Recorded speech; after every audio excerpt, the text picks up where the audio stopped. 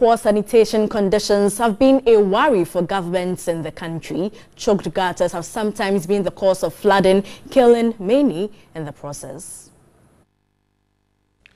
Sanitation sector in Ghana faces a number of challenges, including very limited access to sanitation.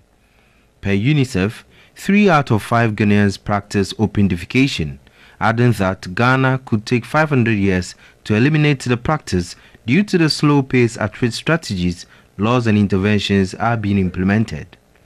Walking down the streets of Accra, you're overwhelmed by all the trash that litters the city. To help deal with sanitation challenges in Madina, a suburb of Accra, students of mental and other health institutions in Accra, in collaboration with the La Nkwantanang Municipal Assembly and Zoomlion, embarked on a sanitation and health education exercise. Registrar of Nursing and Midwifery Council of Ghana, Felix Nyante, advised the residents to keep the environment clean as a preventive health measure. As some of us are actually desilting the gutters, others are engaging the shoppers and the shop owners and the traders and the sellers in health education, basic personal and environmental hygiene, so that we can prevent diseases and illnesses.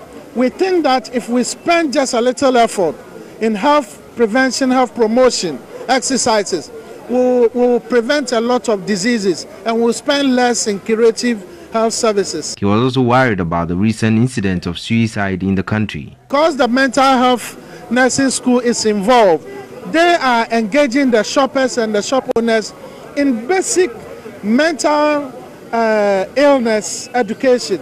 We go through a lot of stress and people think that ending their lives is the solution. But suicide, they are telling people that it's not the option. Some residents at Madina Zongo Junction have these to say. So we've been doing it. As about people don't really partake in it. The former government also had uh, these AMA people who do it almost every day, but they've stopped. I don't know. Normally Saturday is our market day. Yes, nobody can leave his job and come and do gutter cleaning and those kind of things.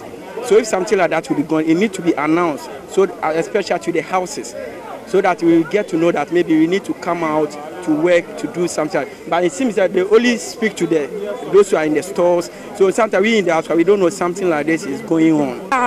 We appeal to the government to construct the gutters for us. When it rains, our homes get flooded.